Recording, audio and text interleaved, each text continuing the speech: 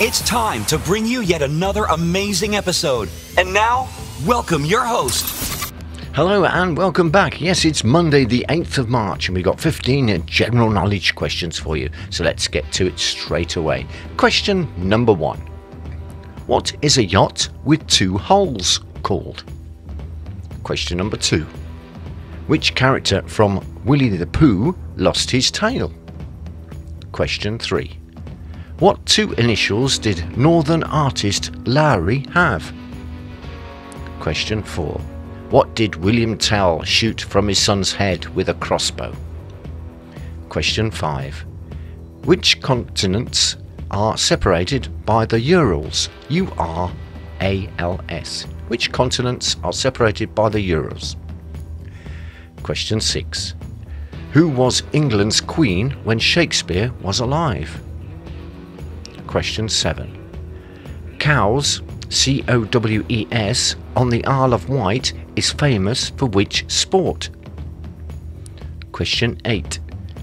Which country was formerly ruled by President Tito? Question 9. Which animal's milk is used to make cheese called chèvre?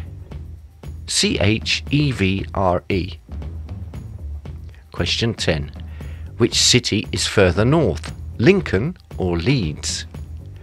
Question 11. What flavour is Kendal's most famous cake? Question 12. Which is the only bird that can fly backwards? Question 13.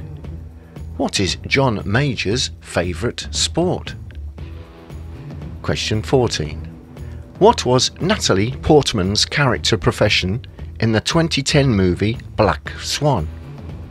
And question 15.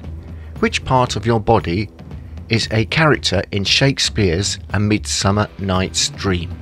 And those were your 15 general knowledge questions for Monday, the 8th of March. We'll give the answers from this quiz on Thursday.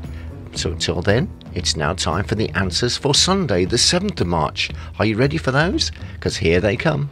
The answer to question number one was France. Question two's answer was Windsor Castle. Question three's answer was Yogi Bear. Question four's answer was Lime. Question five's answer was Badminton. And the answer for question six was oysters. The answer to question seven was Watford. Question 8, the answer was 5. Question 9, the answer was Johnny Cash. Question 10, the answer was Coronation. Question 11, the answer was Flock Together. Question 12, the answer was Poet. Question 13, the answer was True. Question 14, the answer was Javelin. And last but not least, the answer to question 15 was Cornwall. And those were your answers for Sunday, the 7th of March. Don't forget, we've got 8th of March's answers on Thursday. So until next time, my name is Joe. Thanks for listening and being patient.